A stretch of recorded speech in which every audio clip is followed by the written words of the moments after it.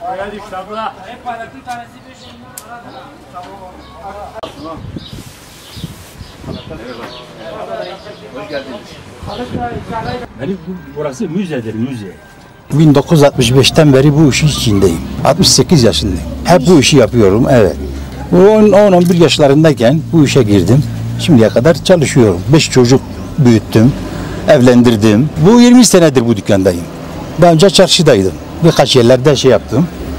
Ee, en son 20 ya- 20 senedir bu dükkandayım. Daha önce daha önce zaten yeni yapıyordum. Kardeşlerimi yetiştirdim. İki tane kardeşim var şimdi çarşıda.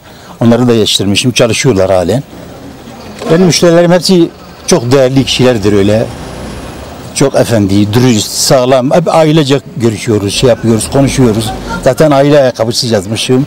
Oturuyorlar, sohbet ediyoruz. Aynı bir aile gibi. Aynı. İşimi severek yapıyorum. Çok temiz olarak.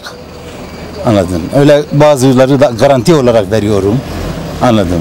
Öyle rahatım. Burada televizyonum var, buzdolabım var. Anladın. Çalışıyorum burada. 3 metrekaredir. Garanti iş yapıyorum onlara. Temiz iş yapıyorum. Kaliteli çalışıyorum ben. Çok kaliteli yani. İdealim yani. Bütün arkadaşlarla hep idealim. Esnaf geniş olması lazım. Güler yüzlü olması lazım. Öyle olmaz zaten hiç olmaz zaten. Hiç çalış, çalışmasın daha iyidir.